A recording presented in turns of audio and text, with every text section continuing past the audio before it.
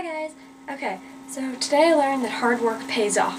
And I know that seems like a really self-explanatory thing, but I learned a really good example of it today, so I thought I'd share. So yesterday Jackie mentioned our Spanish project that we worked on, and we worked like really hard on it. Like we spent the entire day on Sunday, I believe? Yeah. Um, today's Monday? Today's Tuesday? I know it is the week well.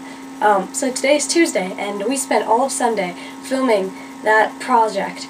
And then Jackie put it together last night, and we showed it today in class, and our teacher said that it was one of the best that she has seen in three years of assigning this project.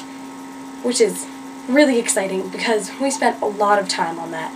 We spent the entire Sunday, and I was just, I wasn't feeling well, and I was really tired, and my mom was like, you should really come home and sleep all day because you were not looking too good.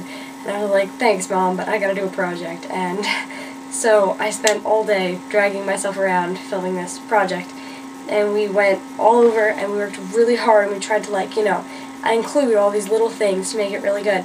And usually like you hand in a project and like you're proud of it and you get a good grade or whatever, but like you don't know whether the teacher noticed like how much effort you really put in. And the fact that she said ours was that good means she noticed that we put in a lot of effort, which felt really good. So yeah, hard work pays off. Yay! Bye guys!